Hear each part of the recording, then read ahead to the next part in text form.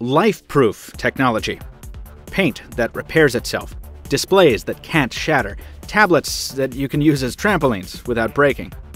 It sounds futuristic, and some of that is still a ways off, but reality is fast catching up to those sci fi notions, and LG is at the head of the mobile front of the self healing revolution with its new G Flex smartphone that can repair itself. At least, that's the claim. But can this curvy phablet really make the everyday signs of wear and tear just vanish all on its own? Let's find out. I'm Michael Fisher, this is Pocket Now, and this is our initial durability report on the LG G Flex.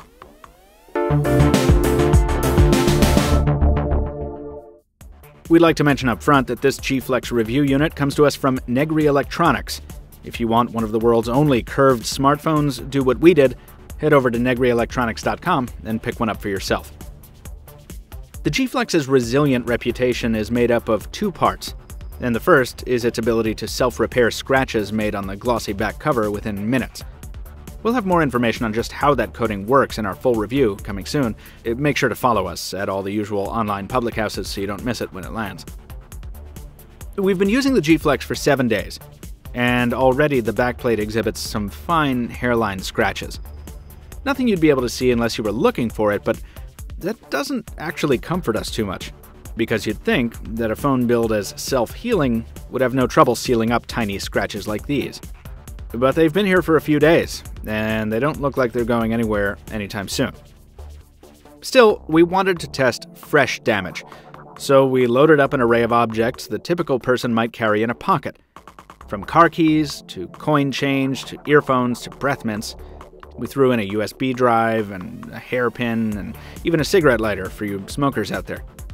We tossed all that into a pocket, followed by the G Flex, back first, of course, and took a walk around town.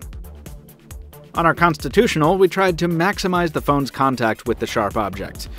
We switched pockets periodically to capture motion at different points on the body, and we changed up our gait from time to time. We went up the stairs and down the stairs. A lot. We even did a couple sprints down the sidewalk in the manner of a harried commuter trying to catch a bus. And then, just for good measure, we dumped everything into a zippered pocket and gave it a good shake up. Because apparently we're sadists. What we found in terms of damage wasn't actually much, at first. The diagonal pattern under the phone's glossy coating does a good job at covering up minor scratches until you really pour some light on it. We took the unit outside briefly to get a good look at the corner scratches, then brought it into a 75 degree Fahrenheit room to allow it to heal. When we returned the phone to the testing table, the sun had moved, but the scratches had not. It could be that the phone just needs more time, but given our experience with the hairline mark from earlier, we're doubtful these scratches will ever heal. Still, those marks were pretty minor, so we put the device in a few more harrowing but common situations for a smartphone. We put it down on a sugar covered countertop at our local coffee shop accidentally grinding a few granules to dust on the phone as we brushed it away. We carelessly tossed it into a car a few times, subjecting it to the rough and dirty fabric of the footwell mat. And yes, we did that thing all drivers have done to their phones at least once the dreaded forgot it was in my lap maneuver. That really hurt. After all that, another sunlight pass shows us a much more significant damage pattern. Now, no one should reasonably expect some of these deeper gouges to come out. Despite all the Terminator jokes, the G Flex is not a T1000, and LG even says so in its own promo video. But we did hope some of the finer scratches might vanish, as they did within minutes in LG's bronze brush test.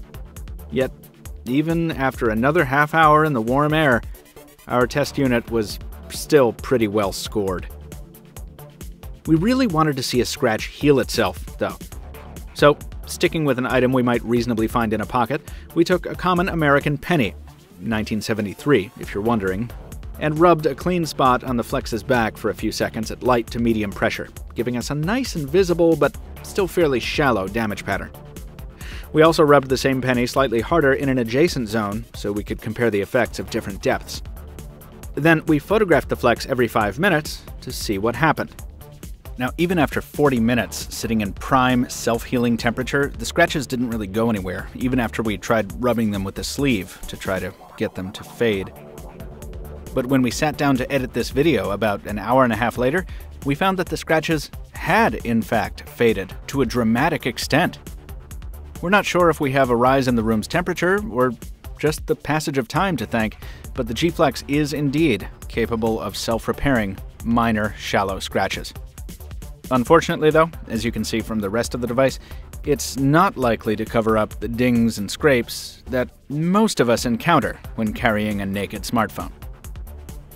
The other big part of this phone's durability push is the flexibility that gives the device its name. It conforms nicely to the posterior when placed in a back pocket, and so you can sit on it without too much fear of trouble outside the occasional butt dial. More importantly, the Flex is resistant to bending the other way. Because, heaven knows, we all sit where we shouldn't sometimes, and that means sometimes we sit on our phones. Now, we didn't like doing this, but we did it anyway for science. As you can see, the Flex is aptly named. Even after multiple sittings by a pretty bulky dude on unyielding wood on a cold winter day, the phone has no trouble taking the stress in stride. It flexes under weight and springs right back once that weight is removed. No part of the device shows any ill effects, aside from some expected scratches on the front panel and two small deformations on the display, which are only visible when the screen is off. We're not sure if these came from something within the phone, or instead were a result of some nails on the porch. We'll ask LG about it when we get a chance. So, where does this leave us? Well, in terms of the scratch test, we certainly weren't as lucky as LG was in its own promo video. That's because we didn't test the device in lab conditions with a bronze brush. But then again, most consumers won't be doing that either. While it is really impressive to watch a certain type of scratch disappear before your eyes, we were able to come up with many types of scratches, not all of them deep, that don't respond as well to LG's magic paint job. On the flip side, though, the phone had no trouble standing up to the bends. For a curved smartphone to take the full weight of an average human male and then spring right back to shape with no cracks or creaks is, to say the least, very impressive and very reassuring. So, while the G Flex is probably just as prone as most smartphones to scratches and surface damage, the flexibility of its durable, curved design still puts it a step ahead of the competition for all you folks out there who don't necessarily look before you sit. Don't forget, folks, we have a full review of the LG G Flex coming up very shortly. And if you want one of your very own, visit our friends at Negri Electronics, negrielectronics.com. But before you go anywhere, please toss us a like if you enjoyed this video. Leave a comment down below if you have some feedback of your own, some follow up questions. We'll try and get to them if we can. And thank you very much for watching. We'll see you soon.